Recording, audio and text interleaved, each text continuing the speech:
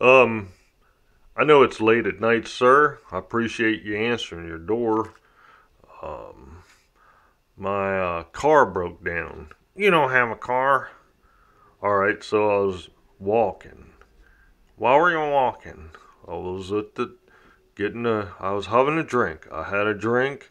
Everybody has a drink. Well, you look like you've had more than one drink. I was walking. Um, so I need to borrow your flashlight. Well, if you don't have a car, why do you need a flashlight? Well, I dropped something. What'd you drop? It's just a part, a car part to my car. You, you, dropped, you dropped drug paraphernalia. All right, hold on, let me use it. Here you go. Take the flashlight. Thanks.